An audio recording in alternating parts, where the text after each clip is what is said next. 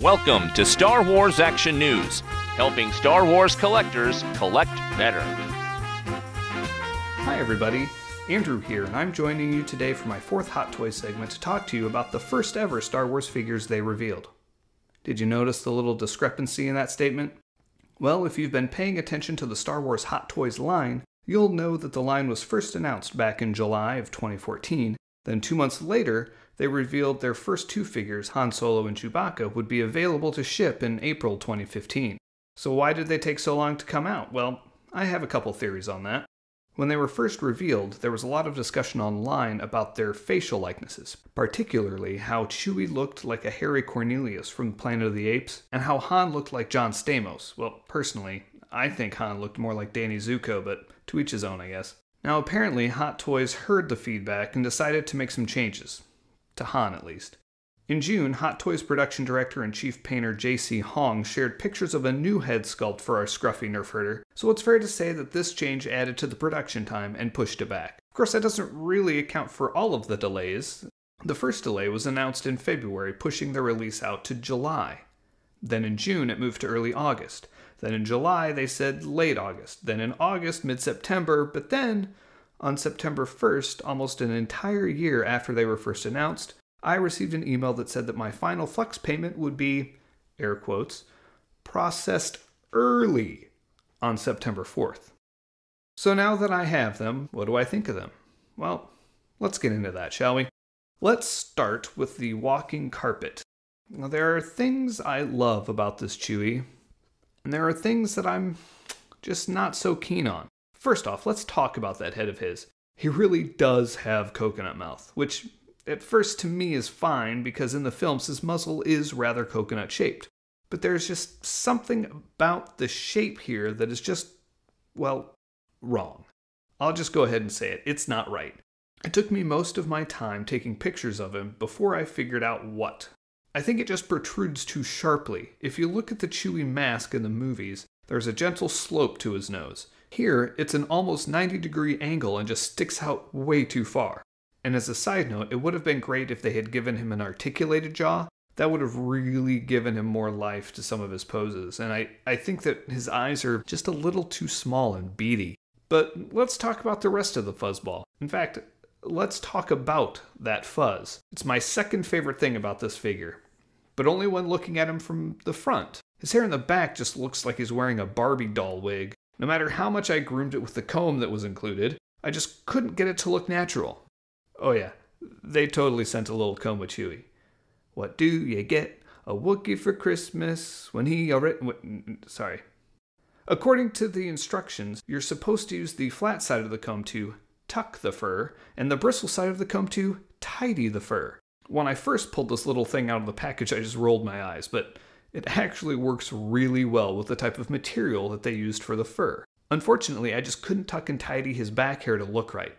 But like I said, if you're looking at him from the front, the fur is excellent. The colors used are perfect, melding between light and dark brown, and I love the material that they used for it. It's almost pliable and moldable, so you can really get it to hang the way you need it to when he's got his arms up. Another issue with this fur is around his swappable hands. Because the Wookiee has fur on the back of his hands, there's a disconnect between his wrists and his hands. You really have to work the fur in a certain way to cover up that joint so you don't see the obvious gap in his rug. But what Hot Toys really nailed here, and is my favorite part of this figure, are his proportions. His tree trunk legs are perfectly shaped and just look to be massive beneath that fur. And he's got some really gnarly toes that stick out from his feet that look kinda creepy yet authentic to his character. He comes with his bowcaster, bandolier, and satchel, and a headset, which doesn't really fit on his oversized head. And if you ordered the Han and Chewie set, you get the heavy blaster rifle that Chewie wields when rescuing our favorite princess from the detention level. The heavy blaster rifle is the same one that comes as an exclusive with the Stormtrooper set, but it's worth repeating that this gun is amazing. All the moving sights, stands, and loading mechanisms. It's just the attention to detail that I expect to get from Hot Toys. Now, the bowcaster is nice, but nothing too extraordinary there and the bandolier looks great on him, but unfortunately the pouch doesn't open up, which was a little disappointing. I did find it strange that the little boxes on the bandolier are removable and not glued in place, but I guess that's kinda neat. overall, Chewie is just okay. There are more disappointing aspects to him than I would like, of course, but the sheer size and bulk and the fact that his hair is soft and not sculpted out of plastic do a good job of masking its other flaws, and I don't mind keeping him on display next to his smuggler partner. Speaking of Han, let's move to that figure. Now, I'm just going to go ahead and lead with the fact that this is my favorite Star Wars hot toy that I have received to date. Perhaps it's because it's the first human figure in the Hot Toys line, and perhaps it's because three fifths of my figures have been shiny stormtroopers. But this guy is awesome. His pants, vest, and partially open shirt fit him just right, and the seams mold them and give them a realistic look. And the collar of his shirt actually has a little wire in it, so you can mold it to be up and tight around his neck, or flared out a little bit for that more relaxed, casual scoundrel look. When I was a kid, I thought the coolest thing about Han was his gunslinger belt. I was a fan of old westerns, and it was obvious that Han's blaster was meant for the quick draw. It is a little small for his DL44 here, though, and the flap that comes down over the top to hold it in place just isn't quite long enough to reach the magnet that holds it down over the grip of the blaster. The belt itself has all sorts of cool little pockets with doodads and greeblies in it, including what looks to be a tiny green soda bottle. There's also a bracket that holds the droid collar on, which is cool that it's not permanently affixed. Speaking of his belt, the only way to take his belt off is if you take off one of his boots which you need to do if you want to put on the Stormtrooper belt that comes with the Han and Chewie set, or with the exclusive version of Solo Han. See what I did there? Because there's there's he's by himself, so he's never, never mind.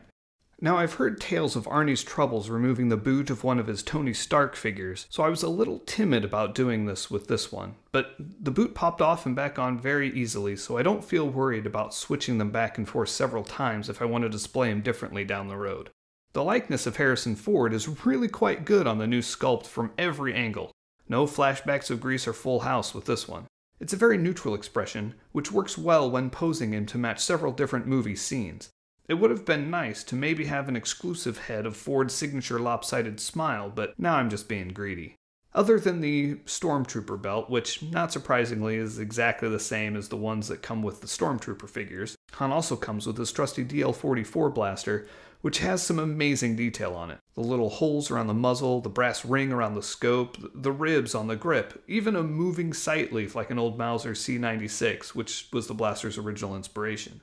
Hot Toys went above and beyond with Han's hands. Of course, there's the relaxed and blaster holding poses, but they also did those same poses with both bare and gloved hands, which is great when you're wanting to have him reenact the shootout in Docking Bay 94. The thing I don't quite get though is the fifth pair of hands that we get. So let's see, there's the bare relaxed and gloved relaxed, bare blaster holding and gloved blaster holding, and then we get what they're calling partially clenched gloved hands. Now, the only thing that these would be good for would be if he were holding the controls of a quad laser cannon turret. Could we maybe be seeing one of those coming down the road to complement their yet to be released Millennium Falcon cockpit display? Hmm. Speaking of quad laser cannons, like Chewie, Han also comes with a headset that he most prominently wears while shooting said cannons. Unlike Chewie, however, Han's actually fits. In fact, remember how I said I wish Han came with a swappable head sculpt? Well, he does come with a swappable hair sculpt. That's close, right? Anyway, you can put this alternative hairpiece on him that has a molded groove that the headset just fits into. It's a shame they couldn't have found a way to make Chewie's fit better like they did for Han. The hair is held in place with a nice solid magnet, so there's no worry about him losing his toupee when your oscillating fan turns in his direction. Both Han and Chewie come with the now standard figure bases, which are still rather dull, but it's nice that they put a little wash on them so that they aren't just a solid color. Well, no, no, they're still just boring. Together, these two figures look great. There are many poses you can put them in where they just look perfect standing next to each other. As I've said before, I really like how these initial figures from Hot Toys all run in a theme where you can mix and match them to make several different great scenes from A New Hope. For instance, Chewie looks great standing between the previously relieved stormtroopers, just like when they first enter that detention level. The only thing that's missing is that Chewie doesn't have his binders to hold his wrists together. It would have been nice to have them included as an accessory, but again, I guess I'm just being greedy. Of course, those binders are coming with the Luke and Stormtrooper armor, which should be arriving soon. Yeah, in case you missed the last episode, I finally caved and ordered that one too. Mainly because now that I have the Han figure, I could try swapping out the head with the Stormtroopers, and, well, yeah, it just doesn't work. The ball joints aren't the same size, and the Stormtrooper has an unpainted black neck, and you just really can't pose the head right, and it falls off way too easily. Plus, now I get the binders that come with Stormy Luke, right? See, there are plenty of legitimate reasons for me to buy the too short Stormtrooper, right? Well, I guess overall, I'd say pick up Chewie if you love the character or can't have Han without his co pilot. It's kind of like having C3PO without R2. And if you're hesitating on picking up Han, don't. He is scruffy in the best way. Oh, yeah, that, that reminds me. Did I mention that he has sculpted chest hair under his shirt? He's wonderfully posable and has raised the bar for the human figures to come. And that about does it for these two. But I should be back very soon with some more reviews as Luke, Vader, and the quarter scale Boba Fett are currently scheduled to ship next month. Thanks for watching this video. You can see full episodes of Star Wars Action News with more collecting news and reviews at swactionnews.com. We also have thousands of toy and collectible photos in our photo gallery. If you enjoyed this video, please subscribe to our YouTube channel. May the pegs be stocked and the Force be with you.